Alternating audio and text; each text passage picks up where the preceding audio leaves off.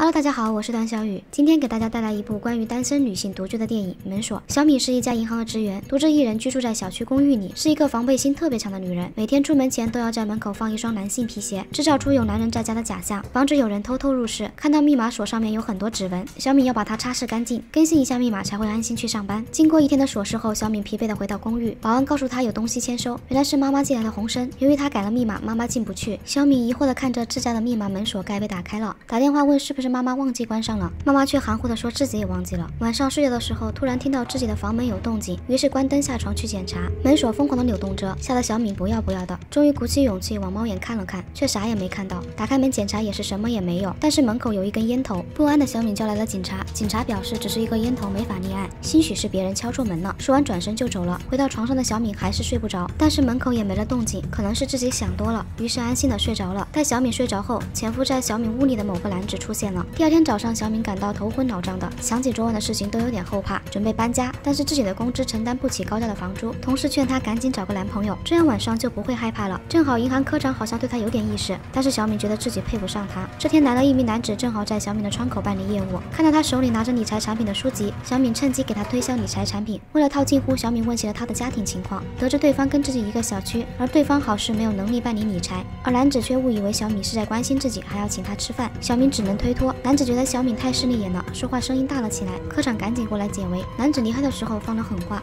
放学给我等着。小敏听了这话，感觉后怕和委屈。工作了一天的小敏回到家里准备入睡。经过了上次的经历，她死死地盯着门口，好一会才安心入睡。这时从床下爬出来一名男子，掏出准备好的麻醉剂。难怪小敏早上起床后晕晕沉沉的。之后男子在小敏家里肆意妄为，拿他的牙刷刷牙，还不忘摆回原形，抹掉自己洗完澡掉的头发，然后抱着小敏睡觉。之前每天晚上都是这样，小敏根本一点都没察觉。后来工作终于转正，涨了工资，这下不用为换房的事情发愁了。某晚下班后，小敏正在等车，突然之前银行闹事。的男子出现在他面前，想要跟他结伴回家。小敏当然不肯，两人拉扯起来。幸好科长及时赶到，拉开了他们，顺势送小敏回家。回到家的小敏发现家里停电了，突然传来了门铃声，原来是小敏的包掉在了车上，科长专程过来送包的，顺便帮他恢复了电力。这时科长想要进入下洗手间，小敏连忙进去收拾一下，以免毁了自己的形象。这时发现每天出门盖好的马桶盖居然呈打开状态。女主出来后开启疑心模式，怀疑科长就是前些天跟踪自己的坏人，质问他怎么知道自己的房间号。科长此时吞吞吐吐，小敏赶紧。跑了出去，只留下一脸懵逼的科长。随后，小敏叫来了警察，在门打开的一瞬间，发现科长已经狗带了。这下小敏成了嫌疑人。原来科长是在楼下问了保安才知道的门牌号。警察怀疑是小敏杀了科，然后报警，佯装自己是受害人，还在屋里查到很多男性用品，怀疑他根本不是一个人居住。听到这里的小敏已经害怕到泪奔了，但是没有足够的证据起诉小敏，只好把他放了回去。第二天，由于科长死亡的事情，小敏也被银行开除了。心有疑虑的小敏回到那个刚刚死过人的家，不敢进去，只好叫来保安检查一番才安心下来。小敏还是决定搬家，收拾。屋子的时候，在床下发现了一张房卡，肯定是凶手留下的。为了给自己洗脱罪名，他决定自己调查，拿着房卡一层一层的开门，最终打开了七零幺的房间。进去后看到满屋子的灰尘，好像很久没有人居住过一样。看到桌子上的照片，得知是一名叫小张的女孩居住的，还发现她以前在自己工作的银行办理过信用卡，这就好办了。他找到以前的同事，查到了银行卡的使用记录，发现她每天都会在同一时间在一家便利店买东西，且每次都要买三千二百块钱的东西。根据信用卡留下来的电话打过去没人接，发短信没人回，于是两人决定去便利店蹲点。果然到了那个点。就来了一名女子购物，两人跟了上去。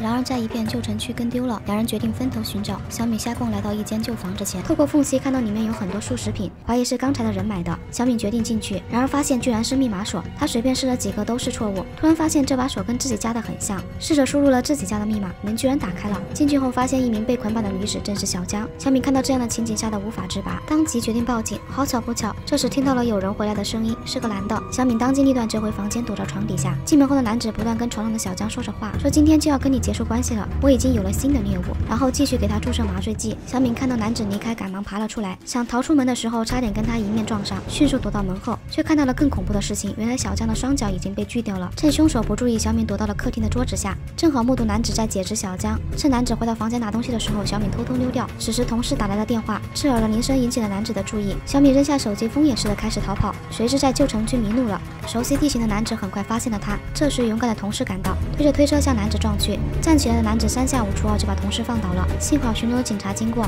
同事拼命的呼救。男子看到警察后慌忙逃走，两人捡回了一条命。警察表示男子的家里什么都没发现，问小米有没有线索。小米只知道他带着一款老旧的电子手表。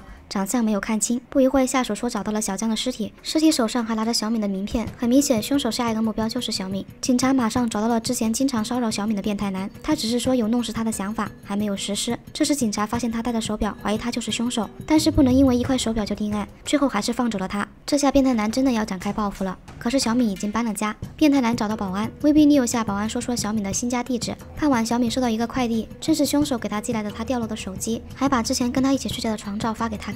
然后凶手发来的视频聊天，打开一看，居然是凶手已经潜伏到了同事家。看来是要给他一场现场直播。看到同事回到家，小敏怎么呼喊都没反应。见情况不对，小敏火速赶往同事的家，终于来到同事门前。可是无论怎么呼喊，里面就是不开门。看着手机中的视频，凶手正要锯断同事的脚，祸不单行，变态男此时跟了上来，见面就是一顿拳打脚踢。幸好警察及时赶到，制服了变态男。小敏拿着灭火器砸开了门，此时同事已经倒在血泊中。而这边凶手已经打开了小敏新家的门，并配了备用钥匙。原来那并不是视频聊天，是凶手早就录好了发给小敏看的。好一招调虎离山，同事没有生命。命危险，只是没了双脚。警察表示，他们一直跟踪变态男，才能及时的救了他，同时送给他一个监控，可以手机实时观看。回到家中的小敏把监控安装在了能拍到全景的地方，这下就可以安安心心出门购物了。在超市里碰到了楼下的保安小哥，小敏不愿意搭理。临走时，突然听到保安小哥结账的声音是三千二百元，转身一看，正好带着那块老旧手表。小敏冒了身冷汗，赶紧回家把门反锁。这时接到警察电话，说变态男又被放出来了，但是转眼就被人杀害了，凶手另有其人。此时的小敏瘫坐在床上，突然发现。家里多了一瓶食品，连忙拿出手机查看监控，